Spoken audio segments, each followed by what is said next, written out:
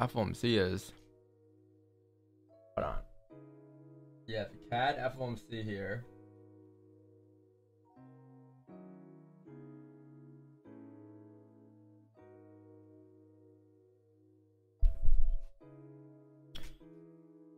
Uh, I want to see now. Hold on.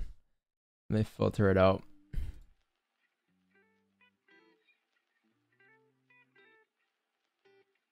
What was it again? It's gonna be inflation.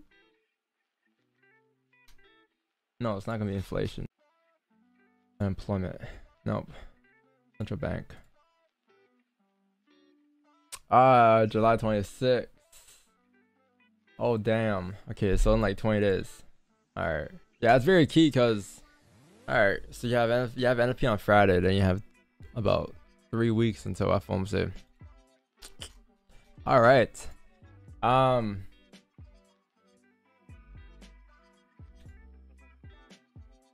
We go back to this, like all. All right. Let's go ahead and check the charts real quick, chat. Um, has this been sent?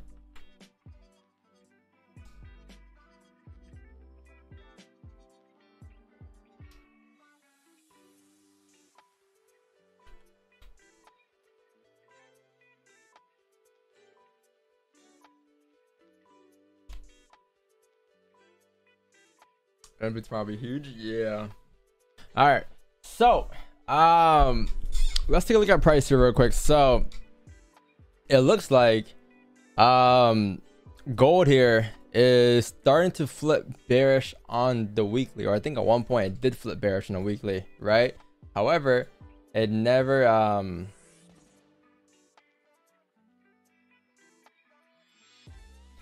sorry, it never, um, well, sorry. Yeah, so yesterday we flipped bearish um, after breaking highs. Um, obviously, reflip bullish today. Again, it really comes down to how we close this week. It's going to be very key. Tomorrow could do anything. Tomorrow could literally come up, create a new high, and still continue to flip bearish even, right, for NFP. Um, it's a huge day tomorrow.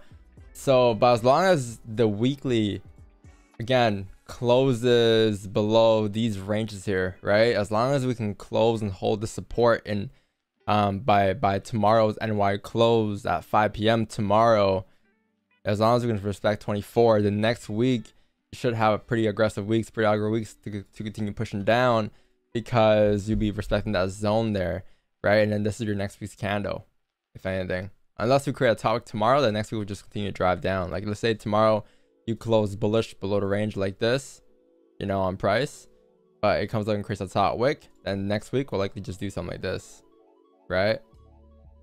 And W mirrored to push these uh, towards the bottom of the range here, right? But you, again, like before coming down, um, I believe you're gonna see a top wick tapping into these areas first, because if you look left, that's where price tapped into last time before driving down, right? So you gotta keep that um, in mind here. Um, the daily today is pretty bearish. Um, obviously, looking at the daily, we closed bearish back into the range. Um, you can argue and say there's no bottom wick. I'm pretty sure on the daily there's no bottom wick too, right? Yeah, it's like no bottom wick here. Um, so daily has no bottom wick, which is interesting. That doesn't mean it can't continue to pop down. It can definitely still continue to pop down. Um, probably shows that it's just a lower, um, lower probability to do so because when there's no wick, there's no range, right? No wick just means no range. Um, when you have no range, you obviously less likely to have continuation.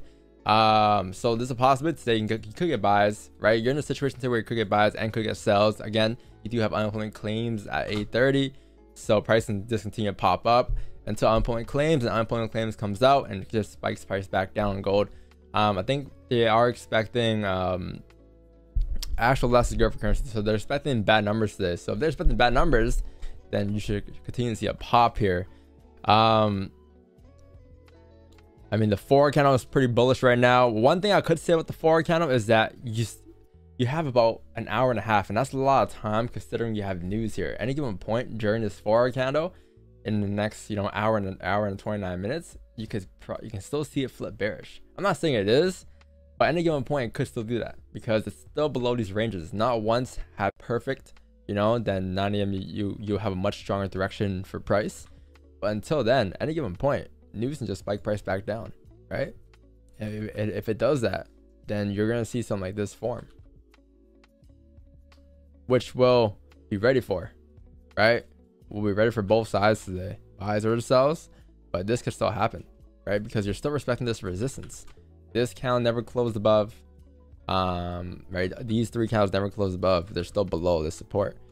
And since they're still below support, you have range coming down towards the next support, which is 8, 1912, right?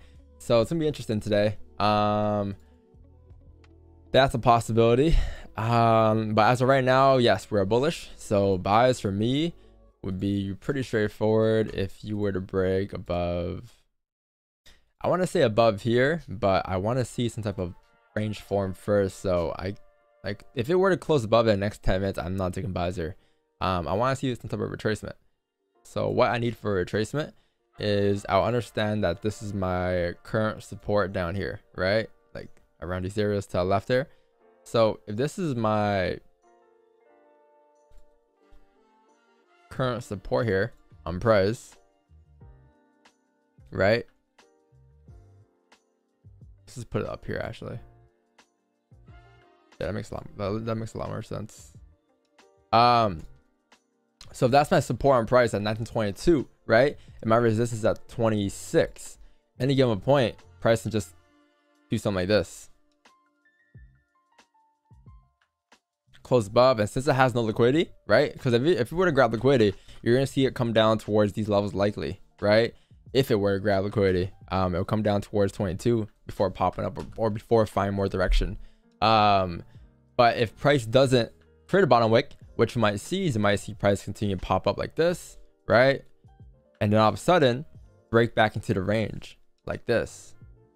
So as it breaks back into the range, you can maybe get the zucchini coming down to fill this range for sells, right? There's a possibility as well, but you, you must see it break the highs first before seeing this because you need a range on fake out on small on small time frame with, the, with the zucchini, right? You need that to form first. So uh, whenever that happens, but yeah, if, if you were to break above without, you know, tapping 1922, there's no buys for me.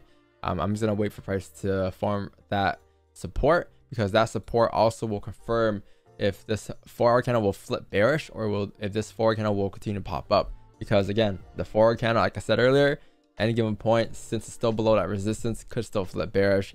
So if you were to come down, retest 1922, right, and you just come back up to pop to pop back up above 26, and that'll confirm that you have found support to continue popping up because then it will look something like this. Right this is how price would look. Right if it comes down taps support and it finds support this is your support found. And then boom that's an indication that you're to come up now to retest the highs. So what you can do here is you can just wait for a closure above 1926 again and then take the buys going up right? But it's very key that you find that support first just like your retest basically, just to confirm that you're not going to flip bearish again on the four hour candle. Because the four hour candle, or found, something like this. Right, this is how price would look. Right, if it comes down, taps support, and it finds support, this is your support found. And then boom, that's an indication that you're going to come up now to retest the highs. So what you can do here is you can just wait for a closure above 1926 again and then take the buys going up, right? But it's very key that you find that support first, just like your retest basically, just to confirm that you're not going to flip bearish again on the four hour candle. Because the four hour candle is your is your trickiest time from today, right? Understand the four hour because the daily is bearish, the four hour is bullish, and but with the way things are looking and the 830 coming up in about an hour, you don't want to get you know caught um in the mess at 830. Or it can go both ways, right? You can just not get caught in a mess as well. But um, you guys know what I mean, right? But yeah, that's why I got going on today for gold. Um, above 26 closure. Only if you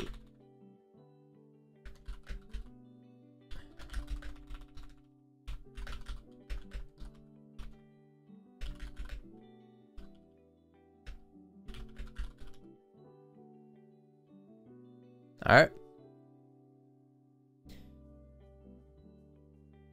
By the way, who caught the analysis yesterday for the simulation? So remember how yesterday chat I said how um like we're we're we're, here on price. I literally we literally drew it out. Um, it just happened right at six. I, I wasn't on for the session, but like I said, how before coming up for a retracement, you're gonna see it come down, spike down again, right? And that was it. I literally drew out this move, bearish coming down, breaking below support. I said how avoid those sells there. Um, that's what stage one price action traders would would usually take, right? We're well above there now, right? So you want to take the buys going back up to retrace the highs. So these buys right here for the zucchini. It, ne it never printed the zucchini to be honest, but the structure was still formed for that. And then obviously, I think the rest of the session you can just continue to pop, especially last night, um, London. Or actually, no, London was a mess to be honest. It, just, it, it was in the range. It was a, it was in a four pit range. Yeah. Pretty neat, pretty neat.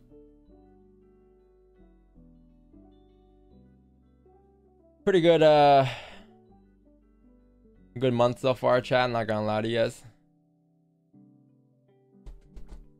Accounts on all time high again after a month, right? We hit an all time high last June 2nd, and then things went downhill from there.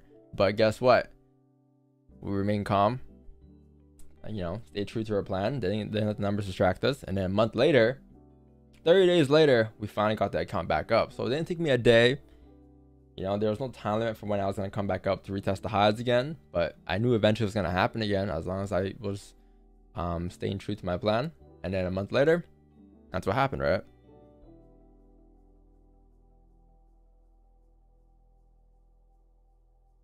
And this coffee is sweet, bruh.